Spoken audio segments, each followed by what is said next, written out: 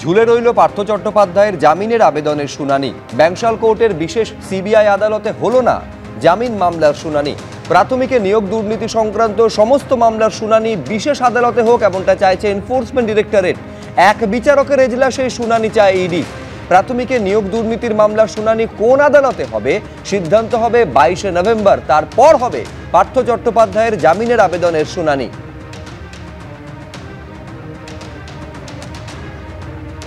নিয়োগ দুর্নীতি মামলায় কুন্তল ঘোষের জামিনের আবেদনের শুনানি শেষ, রায়দান স্থগিত।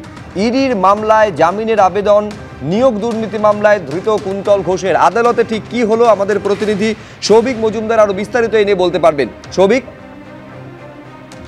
তুমি জানো যে ইডি এই মামলায় জামিন কুন্তল ঘোষ নিয়োগ দুর্নীতিতে অভিযুক্ত এবং ধৃত। তিনি সুপ্রিম কোর্টের দ্বারস্থ হয়েছিলেন এবং সুপ্রিম কোর্টের তরফ থেকে সময় নির্ধারিত করে বলা হয়েছিল যে এক মাসের মধ্যে নিম্ন আদালতে অর্থাৎ সুপ্রিম কোর্টের নিম্ন আদালত কলকাতা হাইকোর্টের কাছে কিন্তু এই মামলার বিচার প্রক্রিয়া শেষ করতে হবে। অর্থাৎ সেই কারণেই কলকাতা হাইকোর্টে কুন্তল ঘোষ ইডির মামলায় যে জামিনের আবেদন করেছিলেন, তার বিচার প্রক্রিয়া হচ্ছে। এখন এই মামলার শুনানি আজকে শেষ হয়েছে। ট্রাইব্যুনাল স্থগিত রাখা হয়েছে মূলত যেটা মনে করা হচ্ছে মাননীয় বিচারপতি সুন্দর ঘোষ এই মামলার ক্ষেত্রে সমস্ত পক্ষের আইনজীবীদের যে বাদানুবাদ ছিল বা যে বক্তব্য ছিল সেই বক্তব্য খতিয়ে দেখার পরে তিনি সিদ্ধান্তে উপনীত হবে এখন আজকে কুন্তল ঘোষের আইনজীবীদের বক্তব্য হলো যে কুন্তল ঘোষ হ্যাঁ। তিনি কিন্তু এই মামলায় অর্থাৎ নিয়োগ দুর্নীতি মামলায় একা অভিযুক্ত নন আরও। অভিযুক্তরা আছেন এবং তাদের মধ্যে বেশ কয়েকজন মূল অভিযুক্ত এর সুপ্রিম দেওয়া হাইকোর্ট থেকে জামিন থেকে হ্যাঁ। ফলত তাকেও একইভাবে জামিন দেওয়া হোক এই আবেদন দিয়েই তিনি কলকাতা হাইকোর্টে এসেছেন। ধন্যবাদ সৌভিক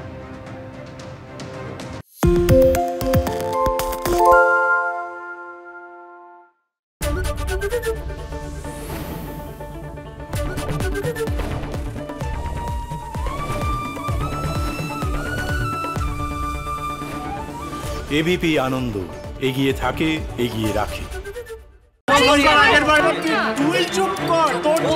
বাংলা ঝামেলা চায় না বাংলা খবর চায়। বাংলা খবর বাংলার খবর। সত্য অন্তহীন সত্যের খোঁজও তাই সত্য সন্ধানে তাই আমরা অক্লান্ত অকুতভয় এবিপি আনন্দ নতুন ভাবনার প্রতীক যা মনে মুক্ত তথ্যে যুক্ত এবং যাবতীয় সীমানার বাঁধন থেকে মুক্ত। সীমা না শব্দটির মধ্যে লুকিয়ে আছে মানা শব্দটি, যেন চোখ রাঙানি, এক অদৃশ্য ব্যানাজার যা আটকে রাখে আমাদের এক ছোট্ট গণ্ডির মধ্যে। একমাত্র সঠিক খবরই গড়ে তুলবে এক মুক্ত সমাজ। সেই জগৎ গড়ার লক্ষ্যে কোনো সীমানার ঠুকুটি আমরা মানব না। এবিপি আনন্দ, এগিয়ে থাকে, এগিয়ে রাখে।